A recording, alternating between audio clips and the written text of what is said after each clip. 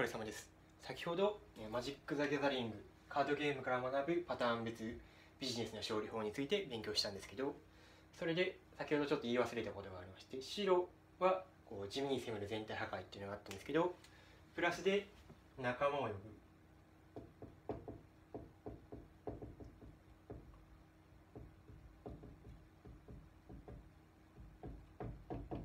仲間を呼ぶっていうのが得意っていうのがあります、まあ、ビジネスでもこう仲間を呼んでこう戦う戦略っていうのがあると思うのでその場合は白に入れるってことですね。あと黒のこう破壊っていうのにプラスこ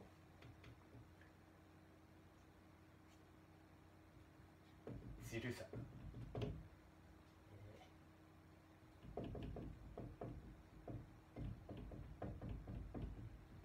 ずるさやもろもろ刃の刃こうすごいコストはすごい低いクリーチャーなんですけど自分にもダメージを与えるクリーチャーっていうのがあるんですけど結構その物販においてもそのすごい儲かる商品なんですけど実は違法のブラック商品ですっていうのはあると思うんですけど、まあ、儲かるんですけどそれブラックですよっていうのはこう私の知り合いでもやっててなんかそのアカウント止まっちゃった人いるんですけどいやそれはいつか止まるよっていう話でこう、まあ、モラハの刃でそのすごい低コストですごい攻撃力なんですけどそれブラックだからそりゃダメだよっていうのを理解するためにまあこういう戦略の中にこういうのがあるけどまあ長続きはしないっていうのはブラックの戦略になりますね。とかあと破壊っていうのもまあ黒に入ってるんでそういう結構その物販とかでその情報発信してる人でなんかすごい相手のことをこうけなす人がいるんですけど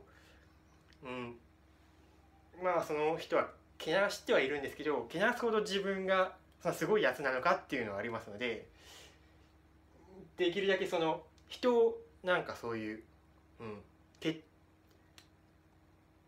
まあちゃんとその人に対してこう改善したらいいよって伝えるのはいいんですけど陰口みたいなそういうまああいつあんなこと言っててなんかクソだなみたいなそういううん。ディスるディスディスって終わるっていうのだけは、うん、やめた方がいいんじゃないかと思いますね。なんかその、えー、自分は変えられるでも人は変えられないっていうのがありますので人のことを言ってもしょうがないんですね。なんで別にまあその人はその人でいいじゃないですか。でもまあいいところはあると思うんでその人のいいところを学んでまあダメだと思ったらまあそれを教訓にやらなければいいだけで。まあ、あの人悪いことを情報発信してるからどうだとか言ってる暇があったら、まあ、自分がその人より強くなればいいわけでですね。なのであまりそのそういうあの人はああだとかそういう相手をその悪口とかディスる行為はこう自分のその、うん、自分をこう黒黒に近づけてしまうっていうこうのがありますのでできるだけそうやらないように注意しましょう。まあ結構私も気を抜くとやりがちなんですけどみんなそうなんですけどね。でもまあこういうビジネスの性質の中でこういろいろな、うんえー、区別があってその、まあ、悪口を言うことはこの黒に属してるとかこういうちゃんと理解できてれば、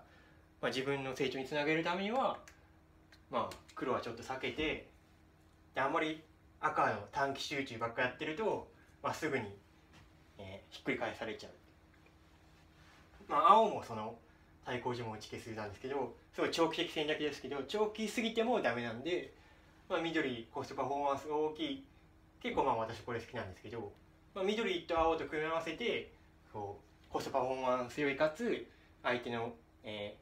ー、場を場の場を制圧するとかまあいいとこいいとこいいとこ取りして、まあ、やるといいと思いますね。でまあ白もその仲間を呼ぶっていうのがあるんでこれ外注さんを使うっていうのをちゃんとやっていただけると、まあ、ビジネスのスピードにもつながります。まあ、最初はビジネスを始める時はそういうそういう、えメンターの学びとかでこう短期集中速攻っていう戦略は問題ないですのでこういう点でも、まあ、赤の戦略っていうのは、まあ、ダメになるのであこういう戦略が5つの戦略があるんだと思ってまあ、うん、理解しておいてください。お疲れ様です。